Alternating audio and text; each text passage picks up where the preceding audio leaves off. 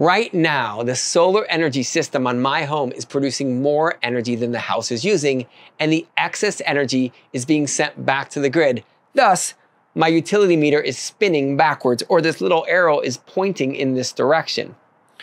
The extra energy that gets sent back to the grid has a value, and how much credit I get for the energy I sell back is what the net metering program is all about. So let's head into the home energy classroom. We discuss this in detail, how it works, and how much credit you get for the energy you sell back to the grid. So welcome back to the home energy classroom where we are going to discuss net metering. And net metering really is how you get credit for the extra energy you sell back to the utility. Net metering is also known as net energy metering and goes by the acronym frequently NEM. Okay, so let's dive into the details of how net metering works, and we're gonna compare it to how standard metering works. So standard metering is very simple. You're using energy from the electric grid, and you're accruing debits or an energy bill that you owe the utility. Now, with net metering, the equation changes because you have solar on the roof. Now, when the solar's not working, when the sun's not shining, you're still using energy from the grid, and you're accruing those debits. But when the sun comes out, what happens? Well, the solar energy starts producing energy and powers your home first. Notice your bill's not going down or up because this house is in a neutral state. All of its energy needs are being provided from the solar system. Now, once the house's needs are met, extra energy starts to get sent back from the grid and the meter spins backwards. And that backward spinning of the meter starts to reduce the debits, the amount you owe the utility, and eventually it can create credits for your utility bill or your net metering statement.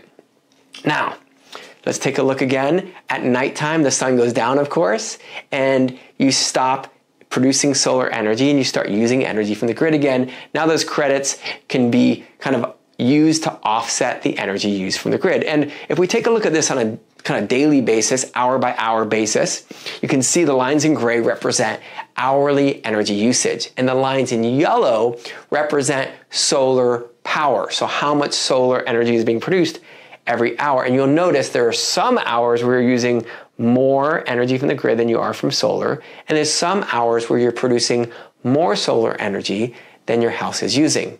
So, the solar energy that's produced starts by offsetting replacing the energy you would have used from the grid because you're directly running your house off solar, thus eliminating that amount of energy usage. So everything in red is still energy that you're using from the grid. Everything in yellow is energy that you would have used from the grid, but now you're using from solar. And everything below the line in green is energy that you exported or sold back to the grid. And so this is how we kind of look at a daily basis. We look at the energy that we bought from the grid, the imports, and the energy we sold to the grid, the exports, also known as the credits. And so this is, you know, energy usage in red and energy credits in green. And so, what really is the most important part of net energy metering?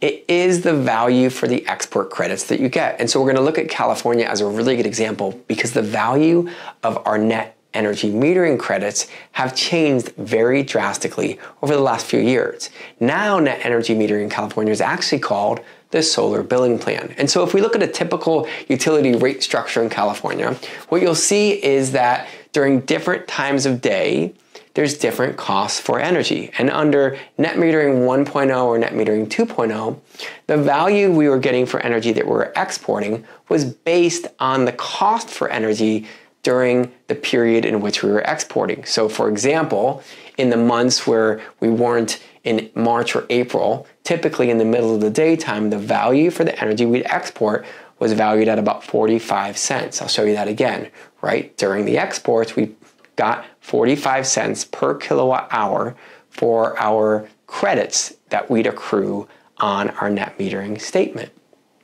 Okay, so in March and April, it was a little bit different, right? In March and April, for example, we'd only get 36 cents. Why? Because in March and April, the value again for the energy that we were exporting was the same as what we were paying for the grid, which was 36 cents. But something started happening in California, which was the grid started to get more and more saturated with solar. If you look at 2015 in the middle of the daytime, we had reasonable demand, but as more and more solar systems came online, the supply increased so much that the value for the energy we sold back to the grid actually became negative as a wholesale value. This is negative $6 per megawatt hour. Why? It's a simple supply and demand curve. Lots of supply, not as much demand in relationship to that supply. And so net metering 3.0 or the solar billing plan changed the way we get value for exports. And now it's based on what's called a utility avoided cost calculator. And that avoided cost calculator takes a look at what are the wholesale values for energy that's sold back, meaning what are the wholesale values that can be offset that utilities don't have to buy from a generation power plant when a homeowner can kind of provide that extra energy to the grid. And so solar billing or the net metering plan no longer gives you the full retail value of 36 cents or 45 cents depending on the time of year. They now provide a value based on the avoided cost calculator, which most of the time in the day is one cent per kilowatt hour.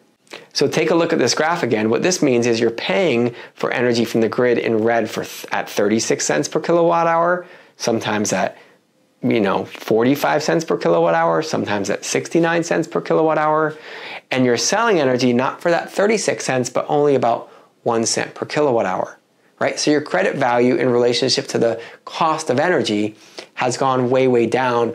And that's probably a trend we're gonna see in more and more utilities across the country. Not something I'm voting for, but just based on the way we've seen it play out in California, I would not be surprised if the value for extra energy exported goes down.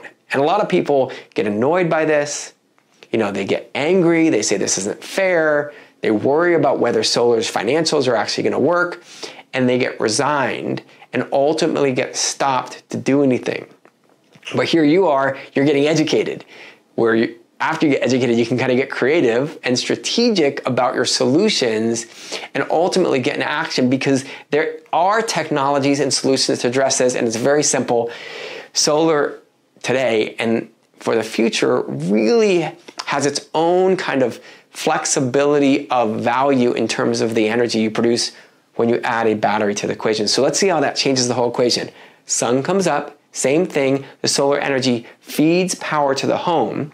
And then instead of selling energy back to the grid at one cent, no, no, no, we're gonna send the extra solar energy into the battery. That battery will fill up, it'll hold that energy. Once that battery is full, the extra solar energy then does get exported. Maybe we do get a penny, maybe we get a little bit more and spin that meter backwards.